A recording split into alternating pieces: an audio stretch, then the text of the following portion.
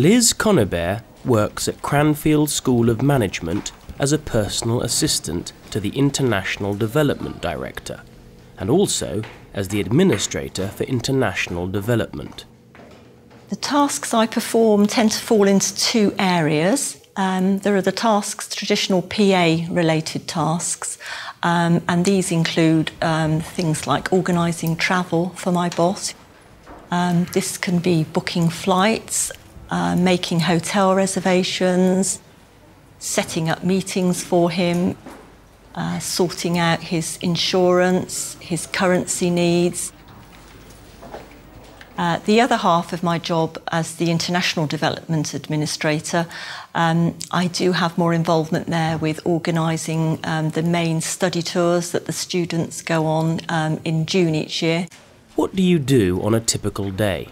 Uh, when I first come in, obviously there's the normal tasks, um, mainly checking emails and things these days and responding to those.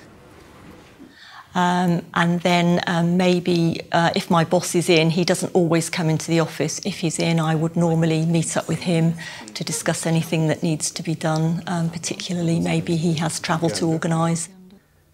And then I just have to get on really and do the work. What do you like about your job?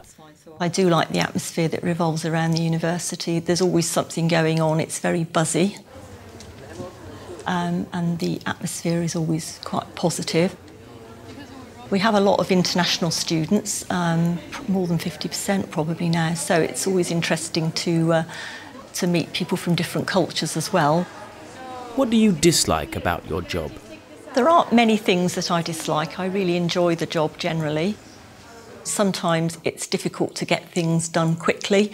Um, you have to get several people to sign things or to authorise things, and sometimes this can take a while.